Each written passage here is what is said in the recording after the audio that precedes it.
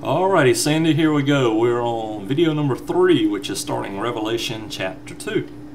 Um, if you hear some weird ambient noises in the background or something, um, our air conditioning unit outside decided some of the parts on it would play out, and so therefore we actually have the doors open right now. Of course, we have screens and uh, windows up and things like that, you know, and letting some of the cooler air from outside in tonight and uh, that type of thing. So if you happen to hear crickets chirping or something like that, don't think that I'm trying to go sleep on you or anything. I'm just uh, just trying to stay cool a little bit. But um, all right, we're in chapter two of Revelation, and I'm going to start in verse one, of course, and let's see how far the Lord will let us get. I'm trying to keep these videos, like I said, to around 30 minutes. So if that's too long, if you when you watch this, if that's too long for you, then let me know and I'll cut it down. If it's not long enough, if you want me to go longer, I can. But I was I was thinking 30 minutes would be pretty good. But anyway, all right, chapter two, verse one. We're starting into the seven churches now. I want to say this before we get into this. Um, keep this in the back of your mind for the next two complete chapters, chapter 2 and chapter 3. There are seven distinct churches, and those seven distinct churches were real churches during the time that John was writing this down. They were just like whatever churches might be up in your area. They were real places that people went to worship the Lord when um, when this was being written down.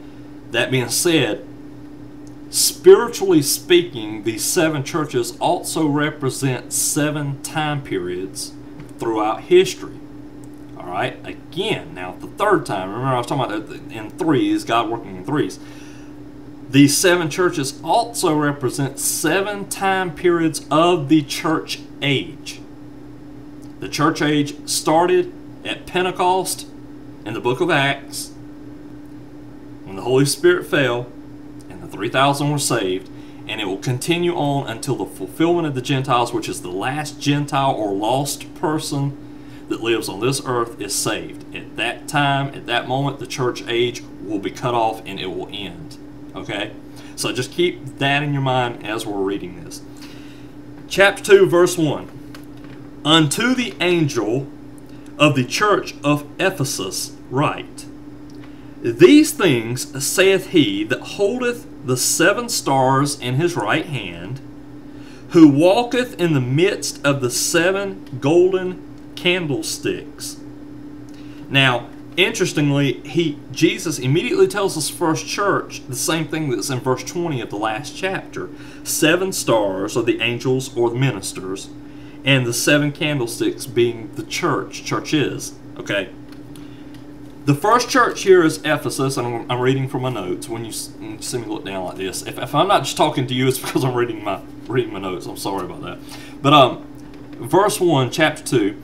Up first is Ephesus to receive their judgment. Jesus wastes no time letting them know that he holds their lives, souls in his hand, and he is the head of the church. See, we have to understand something. God is God, and we are not. I say it so many times, but we have to go a little bit deeper there.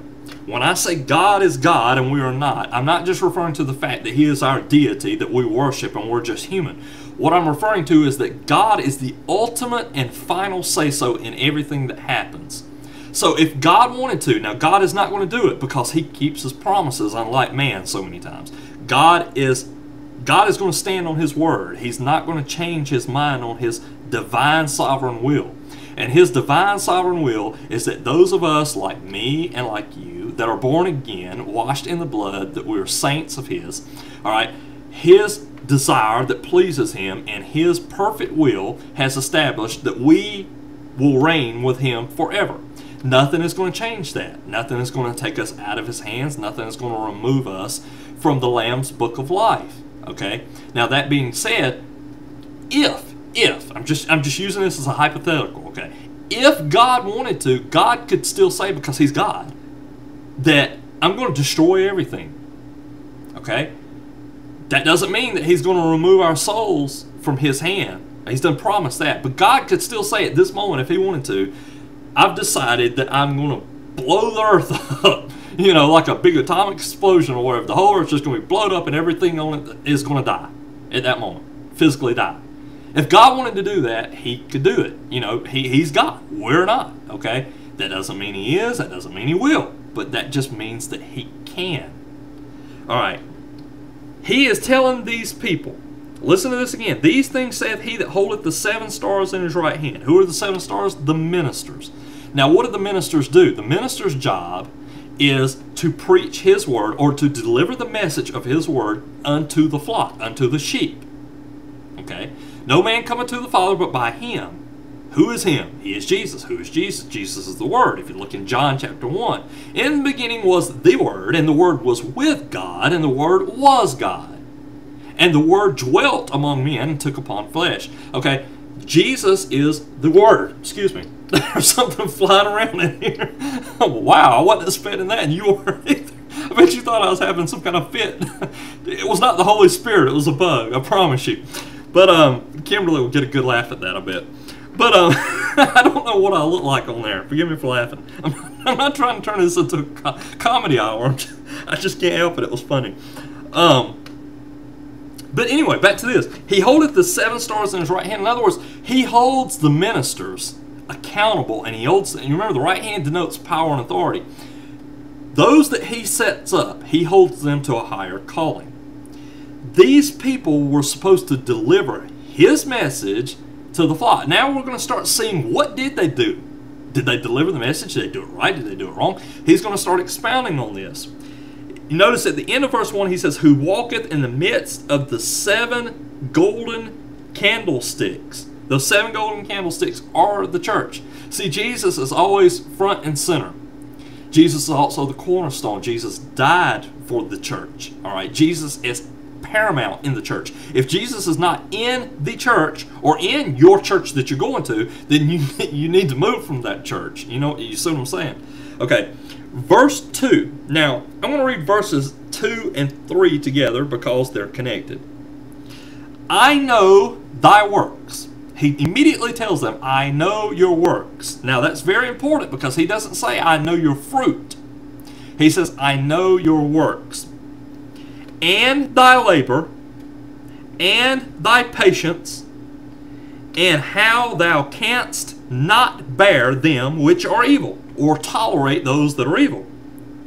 And thou hast tried them which say they are apostles, and are not, and hast found them liars, or to be liars. In other words, these people were proclaiming that they were apostles. All right, now what is an apostle? I'm going to stop right there for one second. I said I was going to read it all, but Lord, let me stop.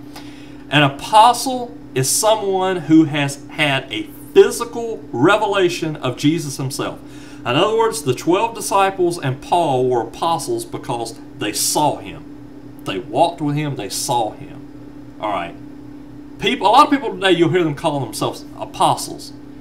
And I'm not saying that they're that they're being blasphemous or anything like that, but technically speaking, they're not. They're disciples just like me and you.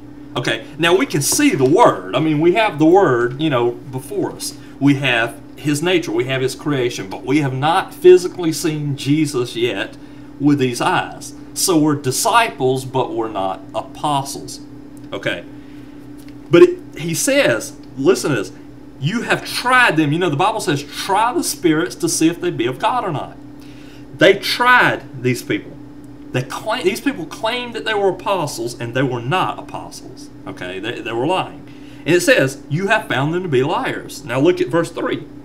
And has borne, and has patience, and for my name's sake hast labored, and has not fainted. If you notice one good thing about this, what I just said, good. Everything here is good. Everything that they're doing is good. I mean, it's all positive. He's telling them the positive things that they have done for him that he is glad that they did. Now we get into verse 4. We'll see what happens. Verse 4 says, Nevertheless, I have somewhat or something, as we would say, against you, because thou hast left thy first love. Now that's an astounding statement. They had left left their first love. Now, who is their first love? That should be very simple. A lot of people debate it. The first love is Jesus Himself. A person cannot come to the Father but by Jesus. Okay? Not by even reading the Word, or not by even saying a fancy prayer, not by going to a church and getting your name put on a roll, not by water baptism, not by good deeds. It's only by Jesus Himself. So Jesus is the first step to get to where we need to be in eternity. He is our first love. For God so loved the world, the lost, that he gave his only begotten Son, Jesus, that whosoever believeth in him should not perish, but have everlasting life. Okay, verse 4. Let me read my notes to you. Even with all the good works they were doing, Jesus was still upset with them for leaving their first love, or in other words, not crediting him with their good deeds. They began to believe in their works more than they believed in him. Wow. Don't you see this? I see it all the time on Facebook. People are quick to boast of what people have done, but they're not glorifying God. That's the reason you see me a lot of times say, if anything good comes from me, it's Him, and if it's not good, it's me, because that's the truth.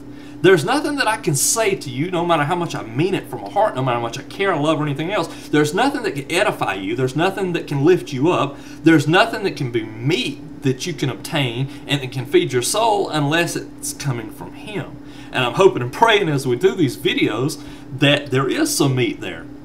I don't know. I hope there is. I mean, I'm just sharing with you what he, he has shared with me. The point being this how many times do Christians start out on the right path as far as doing for Him and laying their selfish sides, their ways and their sides, you know, the parts about them, the selfish, greedy, lustful, all that, they lay it down and they seem to be going right along, and then all of a sudden they start easing back the other direction. All right. This is commonly known as backsliding, and backsliding happens all the time. If a Christian ever tells you they've never been in a backslidden state, then they are lying and they're in the backslidden state when they're telling you that. Okay? Every person backslides on God. None of us have reached perfection yet. We're heading there, praise God, and we shall obtain that. Paul said that he marched towards the prize, but when was the prize? The prize was not in this life. Paul never reached that prize even up until his beheadment. Okay, or beheading, however you want to say that. The moment he laid his head on that block and they chopped his head off, up until his soul left his body, his mortal body, he had not obtained the prize. Now, praise God, that that quick, that quick. That's an amazing thing to think on. I remember when I was young, I used to ponder death, you know, and of course being lost, you know, there was a fear there because I, I was thinking to myself, Lord, you know, of course I wouldn't even call him Lord then, I, but uh, at the same time I'd be like, I don't want to die, you know, that scares me. I don't want to die, you know. I, I hear people dying, you know. I'd go to funerals when I was little and the person would be dead, you know, and I'm like, oh my Lord, they're dead. I don't want to die, you know. And that, of course, sounds so childish now. Paul talked about putting off childlike ways and thoughts, and you know, and that that's part of that. Um, yet at the same time, there's a lot of people today that are walking around dead and they don't even know it. you know, sad to say, but that's just the truth of the matter. But they had left their first love. They had began to credit themselves, you know, with what they had done, you know, instead of giving him all the honor and glory for it. Forgive me if my if I ramble a little bit on this video. I'm actually making this video later. I was on the phone for a few hours talking to a friend, and um, it got longer than what I thought. but needless to say, I mean the conversation was great, and um, I didn't realize what time it was when I come in here. So my brain might be just a little bit tired, but that's okay. Yeah, hey, God's still going to be lifted up in this thing. Jesus is still Lord. Praise the Lord. Hallelujah. Amen. All right, verse 5. Remember therefore from whence thou art fallen, and repent, and do the first works. You notice he did not say fruits. Repent and do the first works. Or else I will come unto you quickly and will remove the candlestick out of his place, except thou repent. Now, a lot of times on Facebook, you'll see a lot of people talking about repent. The Bible mentions the word repent, it mentions repenting, repentance, repented. It mentions all these words pertaining to the word repent. But first, we have to establish something. What does repent mean? All right. Now, I'm fixing to get into something here that people do not want to hear and they do not want to accept because they do not want to have to give total surrender of their lives to the Lord. They want to be able to obtain some part of control in their own life because they feel like they can do something good for Him and be rewarded for it. Okay. Here's what it amounts to the word repent in the Hebrew tongue literally means this to ask forgiveness of and to turn from it in doing so. All right, now you'll hear a lot of people say that the word repent means to turn away from and not do again. But there's a problem with that. How many people do you know that never commits a sin? All right, if you know someone that doesn't, I would like to meet them. I would like to shake their hand and hug their neck and kiss them on the cheek and find out what they're doing. I say that because this if that word really and truly meant to turn away from and never do again, then that means if we repented for every evil act that we do, then we would never do any evil act ever again. In other words, we would become perfect in this flesh, just like Jesus did. Well, that's convoluted logic. If we could become perfect in this flesh that we're in ourselves, then the sacrifice at the cross by Jesus was in vain. He did that for no reason. He would not have had to take all our sins upon him to begin with because we could have crucified those sins ourselves. We could have done it. We would have had no need for him. He could have set up in glory and never had to come down and suffer for us like he did. To go through the torment, the hell, and the agony that he suffered so that we may have right standing with the Father. Now, I say all that because of this. He's telling these people to remember, therefore, from where you are fallen. In other words, what he's saying is this What caused you to get to where you are now? Why are you down instead of up? Why are you in the mire instead of on the clay? Why are you away from me when you should be right beside me in this life? Jesus has never moved. You may have seen it sometimes. There's church signs every once in a while. I'll see them on a church outside of a church building. A church sign, and it'll say this: If you feel like God is a million miles away, guess who moved? See, God doesn't go anywhere. The Bible says that He shall never leave you nor forsake you. Jesus is right here beside me right now, even though I can't tangibly see Him or touch Him or, or whatever that type of thing. It's spiritual, but yet at the same time He's here. Okay, now, that's hard to understand because the Bible also says that he is at the right hand of the Father interceding on our behalf. Okay, waiting to step on the clouds and call us to glory. Okay, the reason it's easy to understand, even though it's hard to understand, I'm going around the world here.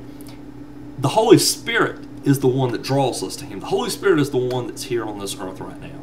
And I say Jesus is right here, technically it's the Holy Spirit, but the three are the same. The Father, the Son, the Holy Spirit, they're three in one, the Trinity. Okay? They're all the same. They're they're all working together, they're all one. That you can't take one apart from the other. Okay? But he's telling them, you know, what has caused you to get to where you get? Then he says, repent. Now let me read my note to you. Okay? And then if God has shown me something else, praise God for it, I'll add. Jesus warned them that if they didn't start putting him first again, you remember they were putting their works first. They were bragging, boasting on themselves. That he would take, what does it say? I will come unto thee quickly and will remove thy candlestick. What is the candlestick? The candlestick that we learned about is the minister. Okay? You notice that. It's the minister. Start putting him first again. He would re- he would take their minister from them. Now, this was a tragedy in the early church. They did not do what churches do today. This is something I wrote down.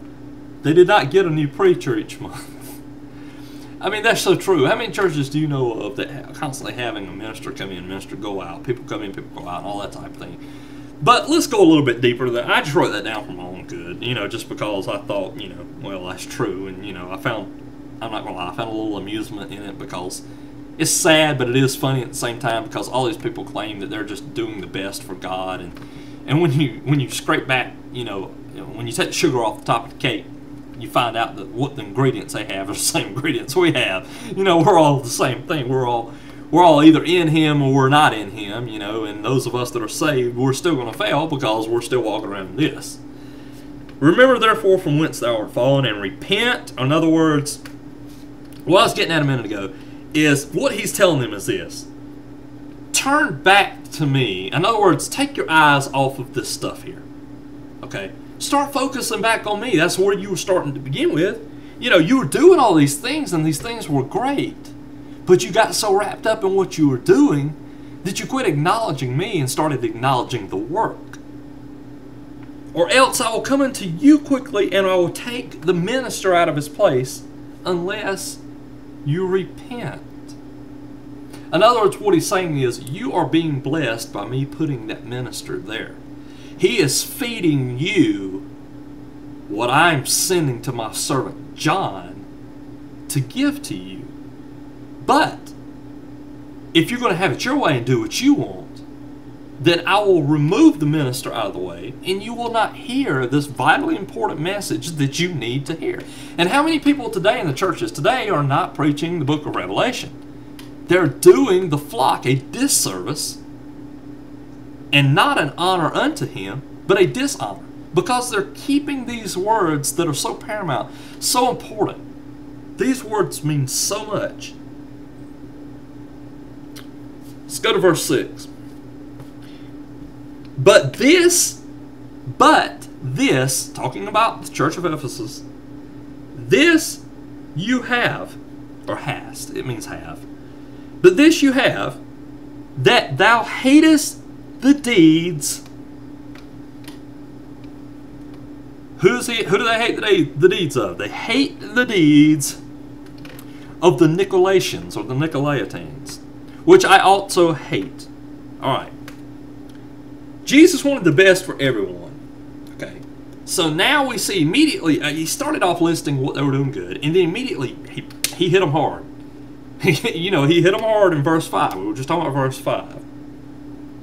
Now, immediately right behind that, though, he starts building their confidence back up because he tells them, after delivering a sober reminder of where they were spiritually, he starts letting them know exactly what they're doing again that's really good.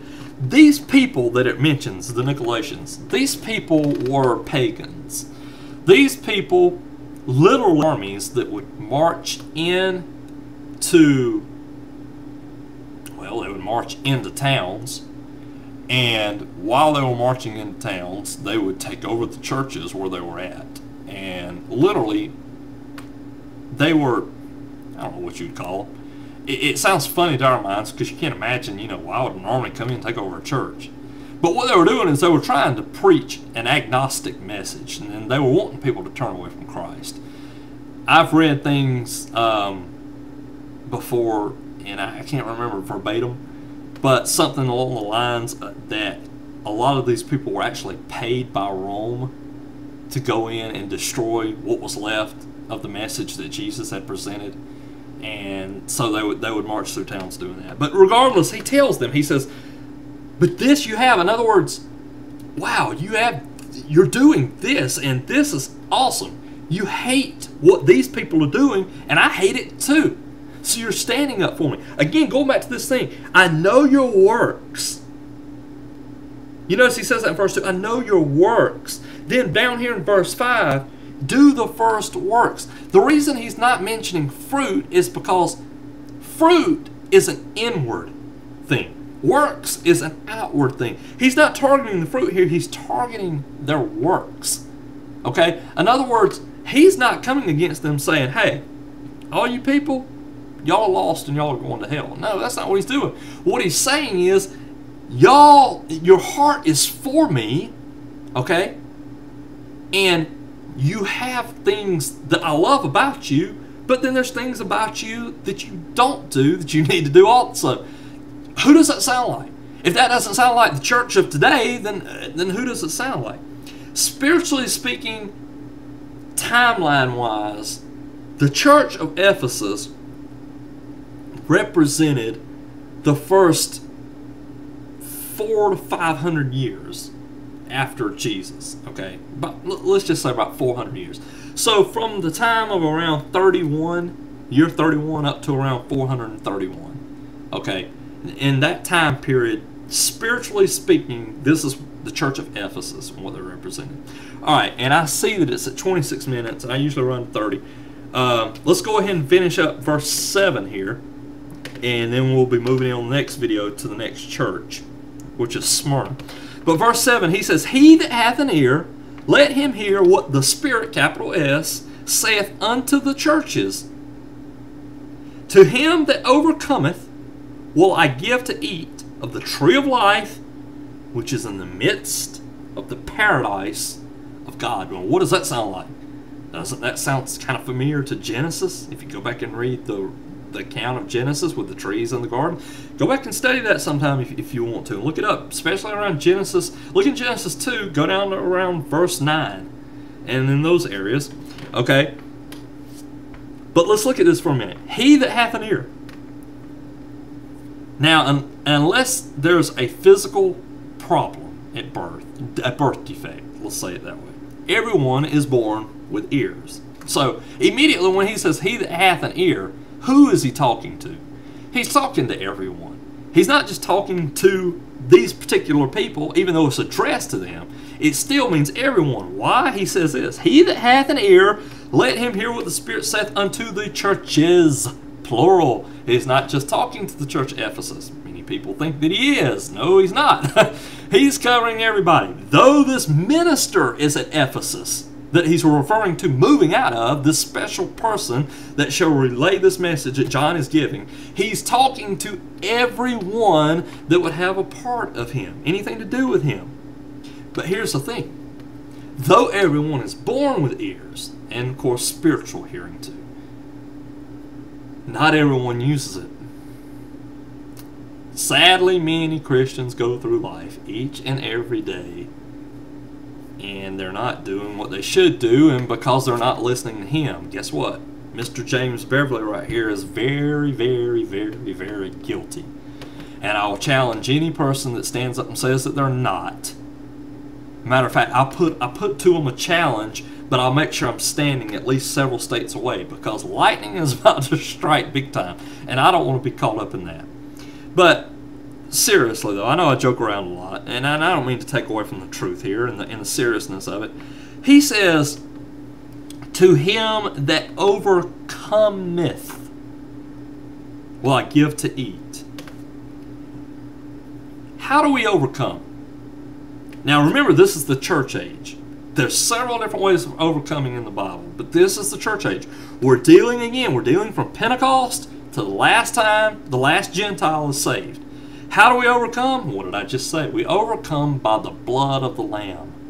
We overcome by salvation. We overcome by being redeemed through faith, by grace through faith, for it is not done by works that man may boast, but we are saved by grace through faith. In other words, it's all Him, and that's how we overcome. So, anyone that is saved, here's our promise. Here's the first promise. There's seven promises. Here's the first one. I will give to eat of the tree of life, which is in the midst of the paradise of God. Guess what? Those trees in the Garden of Eden, they're not gone. The Garden of Eden has never disappeared. The Garden of Eden, paradise, is where Jesus is. The garden is Jesus himself.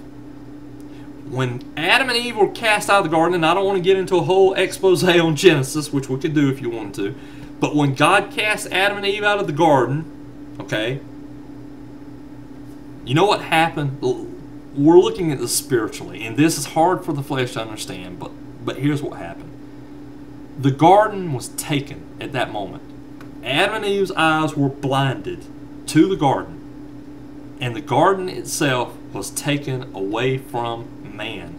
Mankind had no more part of Jesus because man was no longer redeemed to Jesus. Man had failed. Okay? The garden itself, the literal garden, okay, like trees, shrubs, animals, and all that type of thing. That garden remained up until the flood. Okay? But, but, but, the spiritual part of that garden was taken away. If you go back and read the account in Genesis, it says that he set a flaming sword. What is the flaming sword? It's the Word of God. And he set cherubim or cherubim, but he set at the entrance that no man may enter anymore thereafter. And the thing is this God fixed that. A lot of people will say, well, the Garden of Eden is here or there, or here's where it was and everything. No, it's not there. I'm sorry. I'm sorry to disappoint you. It's not there. And the reason it's not there is because if it still was, then that flaming sword and that cherubim that he set there to keep man out would still be there too. He's not going to go back on his promises. Okay? When he said that no more would man enter there, he meant it. But here's the thing. Me and you have already entered it, Sandy. Kimberly, whoever's watching this video, we have already entered it. You know how we've entered it? We've not entered it yet in this state. We will never enter it in this flesh. This flesh has to be changed. It has to be glorified before it can enter it back into it. Adam and Eve were glorified until they fell. Remember that. Okay? Here's the thing though we have already entered it spiritually because the Bible says that the curtain of the temple was rent from top to bottom, exposing the Holy of Holies, and now we have access ourselves. We no longer need a mediator. We no longer have to sacrifice the blood of animals to atone for our sins. He walked in once, and He did it once and for all for everyone. Hallelujah. We're glorified and we're redeemed back to Him, and we're His. Praise God. I'm glad to know that I'm His, aren't you? Amen. Amen. That's just some good stuff, and that will get me fired up. So I'm going to stop right here. So until next time, study on this and forgive the bug incident wherever that was at. I'll be watching this video back just to laugh at that. God bless you, Sandy. Love you.